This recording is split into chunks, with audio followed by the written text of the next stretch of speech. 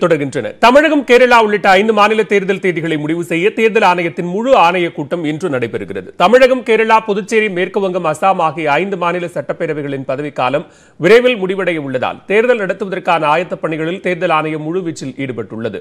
ஐந்து மாநில சட்டப்பேரவை தேர்தலுக்கான முன்னேற்பாடுகள் தொடர்பாக தலைமை தேர்தல் ஆணையர் சுனில் அரோரா துணை ஆணையர்கள் அடங்கிய தேர்தல் ஆணையத்தின் முழு ஆணைய கூட்டம் கடந்த இருபத்தி மூன்றாம் தேதி நடைபெற்றது. அதன் பிறகு கடந்த புதன்கிழமை தமிழகம் கேரளா புதுச்சேரி மாநில தலைமை தேர்தல் அதிகாரிகளுடனும் அதற்கு மறுநாள் அசாம் மேற்குவங்க மாநில தலைமை தேர்தல் அதிகாரிகளுடனும் தலைமை தேர்தல் ஆணையர் சுனில் அரோரா ஆலோசனை நடத்தினார். அதனைத் தொடர்ந்து இன்று நடைபெறும் முழு ஆணைய கூட்டத்தில் ஐந்து மாநில தேர்தல் தேதி இறுதி செய்யப்படும் என்று எதிர்பார்க்கப்படுகிறது. மேலும் தேர்தலில் பணப்பட்டுவாடா மதுபானம் விநியோகத்தை தடுப்பது குறித்து அமலாக்கத்துறை வருவாய்த்துறை உள்ளிட்ட அதிகாரிகளுடனும் தேர்தல் ஆணைய அதிகாரிகள் மார்ச் இரண்டாம் தேதி ஆலோசனை நடத்த உள்ளனர்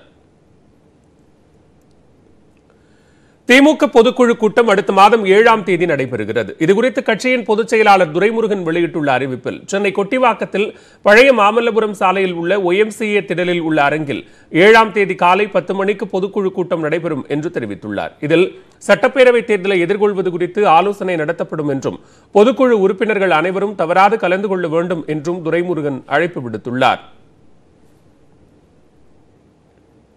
ஃபேஸ்புக் வாட்ஸ்அப் உள்ளிட்ட சமூக வலைதளங்கள் மற்றும் ஓடிடி தளங்களுக்கு மத்திய அரசு புதிய கட்டுப்பாடுகளை வெளியிட்டுள்ளது.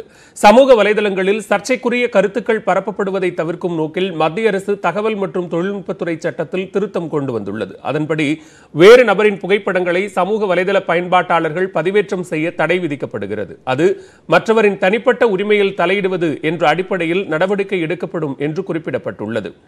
சமூக வலைதளங்களை போன்று Netflix Hotstar Amazon Prime Zee five உள்ளிட்ட ஓடிடி தளங்களுக்கும் மத்திய அரசு பல்வேறு கட்டுப்பாடுகளை விதித்துள்ளது. ஓடிடி தளங்கள் தங்களது படைப்புகளுக்கு மூன்று அளவில் தணிக்கை பெறுவது கட்டாயமாக்கப்பட்டுள்ளது. அதன்படி வகைப்படுத்த வேண்டும் என்றும் ஓடிடி நிறுவனங்களுக்கு அறிவுறுத்தப்பட்டுள்ளது.